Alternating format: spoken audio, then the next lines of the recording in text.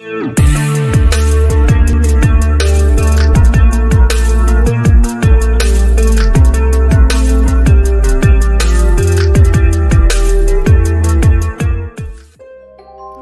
a tutti, in questo video parlerò del leggendario Padre Pio, il santo di Pietralcina, un personaggio amato e venerato da molti, considerato come un santo protettore la cui figura tiene lontano ogni pericolo o maledizione.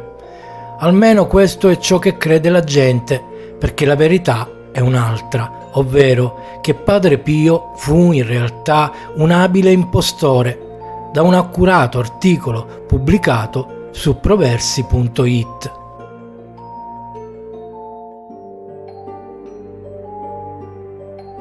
Al di là di doti taumaturgiche e attitudini miracolistiche ampiamente discusse e mai dimostrate, sono tante le testimonianze e gli studi che evidenziano la capacità di Padre Pio da Pietralcina di sedurre migliaia di fedeli, creando intorno alle sue attività un business milionario e un ritorno d'immagine di cui la Chiesa, dopo i dubbi iniziali, beneficia ancora oggi.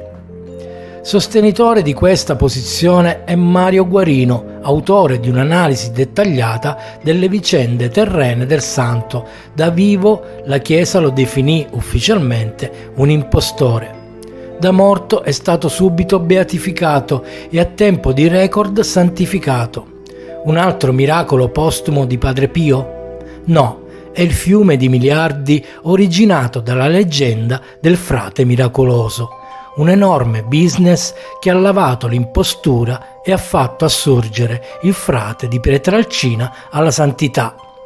Del resto, il solo vero miracolo del frate con le stigmate fantasma è stato ed è quello affaristico, un giro di denaro enorme con le diramazioni più impensabili, il cui epicentro è a San Giovanni Rotondo tutto intorno un corollario di intrighi, maneggi e scandali.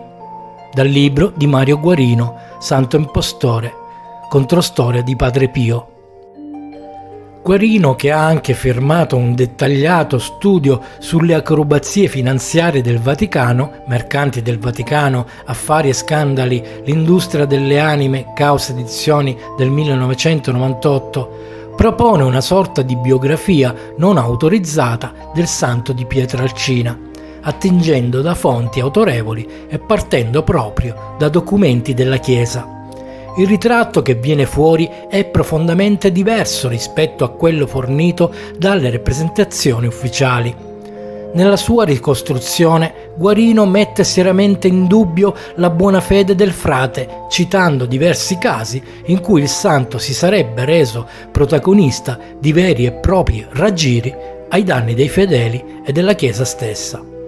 Negli ultimi due capitoli, in particolare, l'autore si sofferma sull'enorme giro di soldi creatosi intorno alla figura del cappuccino Stando a questa ricostruzione, l'ospedale fondato da Padre Pio a San Giovanni Rotondo, noto come Casa Sollievo della Sofferenza, sarebbe stato a lungo al centro di una serie di disavventure finanziarie. Dopo l'intervento dello IOR, la struttura si è trasformata in un centro di potere politico ed economico, sostenuto dai fondi milionari dello Stato e della Regione Puglia. Sullo sfondo Mario Guarino descrive un'Italia soggiogata dalla figura di un santo truffatore piegata dall'ignoranza e dalla superstizione. Sulla stessa linea si muove il dossier Padre Pio, cronologia e documenti di un grande inganno, Caos Edizioni del 2009 che offre un'attenta ricostruzione della vicenda basandosi su documenti e testimonianze, a partire dalle tre relazioni con cui padre Agostino Gemelli stroncò le attività del Cappuccino. Gemelli, medico e psicologo specializzato nello studio di fenomeni mistici, fu inviato dal Sant'Uffizio per indagare sulla figura del frate. Dopo una prima visita avvenuta il 19 aprile del 1920, il consulente del Vaticano liquidò la questione come un inganno, facendo recapitare a Roma una lettera in cui parlava appunto di un blef. Padre Pio ha tutte le caratteristiche somatiche dell'isterico e dello psicopatico, quindi le ferite che ha sul corpo, fasulle, frutto di un'azione patologica morbosa. Un ammalato si procura lesioni da sé. Si tratta di piaghe con carattere distruttivo dei tessuti, tipico della patologia isterica. Sergio Luzzatto, Padre Pio, Miracoli e politica nell'Italia del Novecento e Inaudi 2007. La situazione non migliorò nelle relazioni successive, elaborate nel luglio dello stesso anno e nel 1926. Il frate presentava le note caratteristiche di una deficienza mentale di grado notevole. La suggestione esercitata su di lui dal padre Benedetto ha finito per creare uno stato morboso che fra le sue manifestazioni ha avuto anche le stigmate. Padre Pio a poco a poco è stato vittima e causa della suggestione collettiva che si è andata creando intorno a lui. Dossier Padre Pio, citazione pagina 15. Per la Chiesa fu difficile ignorare le parole di una delle massime autorità del settore che negli anni successivi avrebbe fondato l'Università Cattolica del Sacro Cuore di Milano.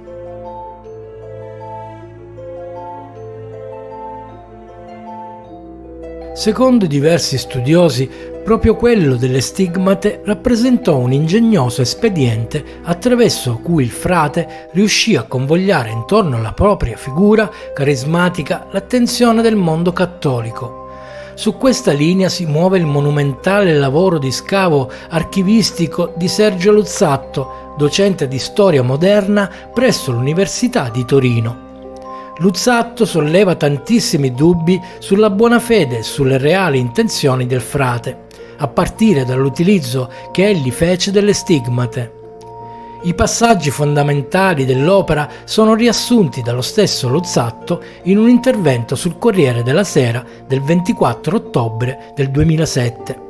Il cerchio intorno a Padre Pio aveva cominciato a stringersi fra giugno e luglio del 1920 poco dopo che era pervenuta al Santo Uffizio la lettera perizia di padre Gemelli sull'uomo a ristretto campo di coscienza, soggetto malato, mistico da clinica psichiatrica, giurate nelle mani del vescovo di Foggia, Monsignor Salvatore Bella, e da questi inoltrate, le testimonianze di due buoni cristiani della diocesi pugliese avevano proiettato sul corpo dolorante del cappuccino un'ombra sinistra.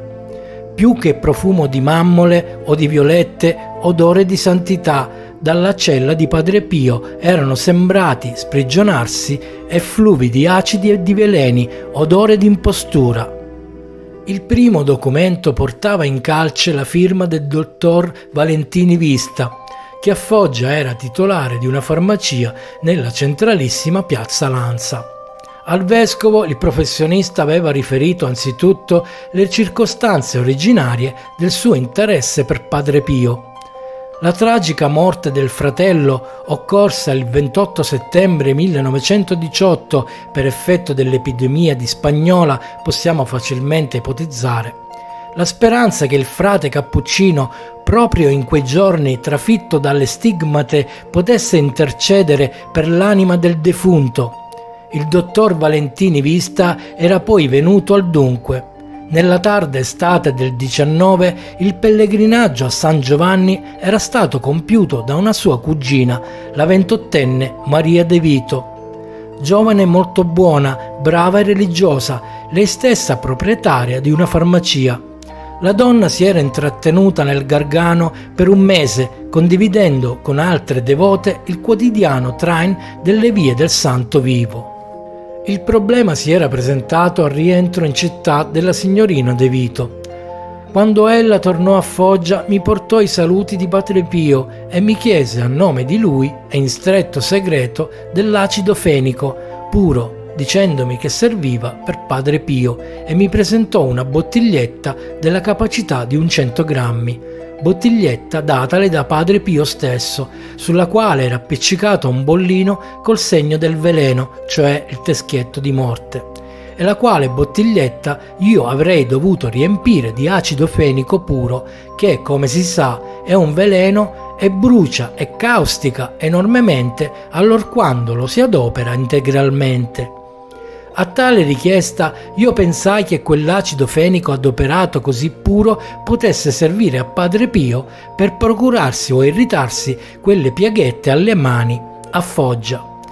Voci sul ritrovamento di acido fenico nella cella di Padre Pio avevano circolato già nella primavera di quel 1919, inducendolo il professor Morrica a pubblicare sul Mattino di Napoli i propri dubbi di scienziato intorno alle presunte stigmate del cappuccino non fosse che per questo il dottor Valentini Vista era rimasto particolarmente colpito dalla richiesta di acido fenico puro che il frate aveva affidato alla confidenza di Maria De Vito. Tuttavia, trattandosi di padre Pio, egli si era persuaso che la richiesta avesse motivazioni innocenti e aveva consegnato alla cugina la bottiglia con l'acido ma la perplessità del farmacista era divenuta sospetto poche settimane dopo, quando il cappuccino di San Giovanni aveva trasmesso alla donna, di nuovo sotto consegna del silenzio, una seconda richiesta, 4 grammi di vetratirina. Temerario il sospetto del farmacista e della cugina?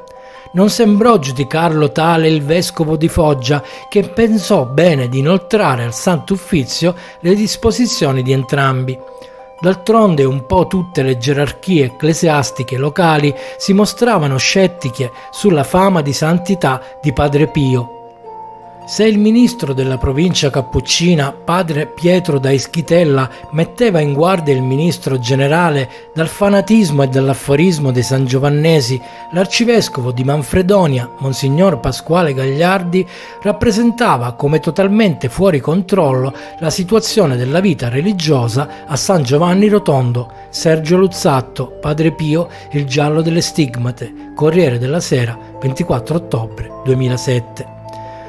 Proprio da questo momento nella storia di Padre Pio entrano in gioco quei capi d'accusa destinati a divenire un fondamentale cavallo di battaglia dei suoi detrattori, ovvero il lucro e il sesso, per 40 anni dopo il 1920 il celestiale profumo intorno alla cella e al corpo di Padre Pio riuscirà puzzo di zolfo al naso di quanti insisteranno sulle ricadute economiche o almanaccheranno sui risvolti carnali della sua esperienza carismatica ibidem.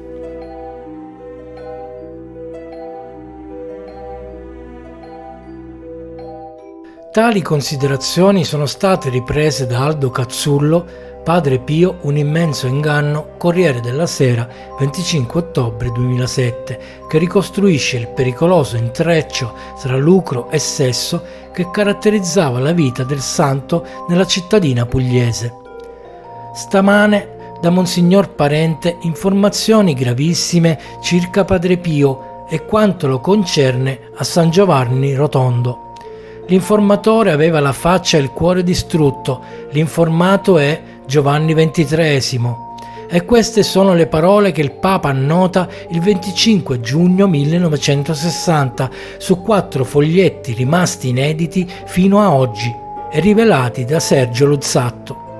Con la grazia del Signore io mi sento calmo e quasi indifferente come innanzi ad una dolorosa e vastissima infatuazione religiosa il cui fenomeno preoccupante si avvia a una soluzione provvidenziale. Mi dispiace di Padre Pio che ha pur un'anima da salvare e per cui prego intensamente, annota il pontefice. L'accaduto, cioè la scoperta per mezzo di filmine si vera sunt quae referentur dei suoi rapporti intimi e scorretti con le femmine che costituiscono la sua guardia pretoriana sin qui infrangibile intorno alla sua persona, fa pensare ad un vastissimo disastro di anime diabolicamente preparato a discredito della Santa Chiesa nel mondo e qui in Italia specialmente.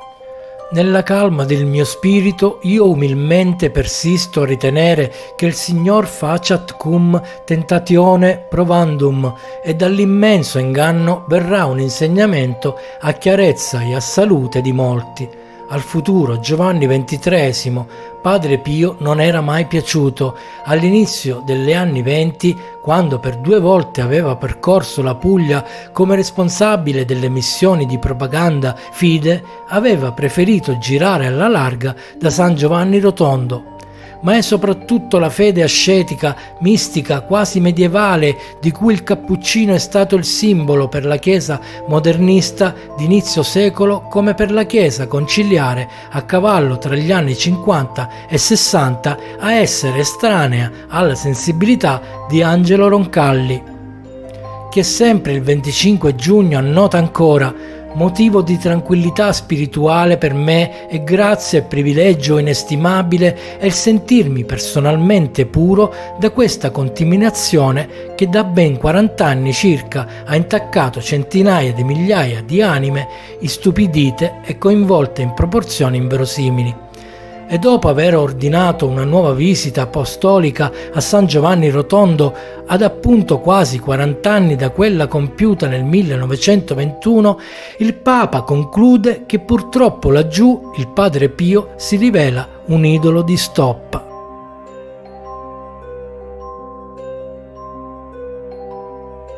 La pubblicazione di Luzzatto, frutto di uno studio durato circa sei anni, trovò vasto eco sui maggiori organi di informazione. Importante il contributo del vaticanista del quotidiano La Stampa, Giacomo Galeazzi. Padre Pio, Battaglia senza fine, un libro riapre il caso, impostore lussurioso o vittima di Papa Giovanni? La Stampa, 26 ottobre 2007 che si concentra sui rapporti del santo con Papa Roncalli, padre Pio impostore e lussurioso o vittima di Giovanni XXIII, suo spietato persecutore e calunniatore. Spaccano il mondo ecclesiale gli appunti privati in cui il Papa bolla come un immenso inganno e un disastro di anime l'opera del Cappuccino proclamato santo da Carol Voitila deplorandone i rapporti scorretti con i fedeli. Fu una persecuzione per togliere di mezzo un tradizionalista scomodo per la Chiesa modernista di Roncalli oppure erano fondate le accuse arrivate in Vaticano sulle truffe economiche e gli scandali sessuali del Cappuccino? Il teologo Giovanni Franzoni, ex abate della Basilica Romana di San Paolo, ricorda il giudizio negativo di padre Gemelli e le diagnosi cliniche di Cancrini sull'istrionismo pulsionale e la necessità di mettersi in mostra di padre Pio. Le stimmate sono una nota malattia della pelle. Le ho viste anche in persone che nulla avevano di santo, puntualizza Don Franzoni. Padre Pio non è mai parso monastico e ritratto in se stesso, ma idolatrato e sovraesposto già da un'iconografia miracolistica. Erano gli uffici a trasmettere notizie negative su quanto avveniva a San Giovanni Rotondo. Il pontefice non aveva alcun pregiudizio, ma non poteva che prenderne atto spiega l'arcivescovo Loris Capovilla, segretario personale di Papa Roncalli. Il suo timore nasceva dalle informazioni degli incaricati della Santa Sede. Roncalli era allarmato dal gran giro di denaro. Ora da questo documento sappiamo che, oltre alle registrazioni sacrileghe e illegali nel confessionale, il Papa credeva esistessero filmini di Padre Pio sorpreso in atteggiamenti equivoci con ragazze.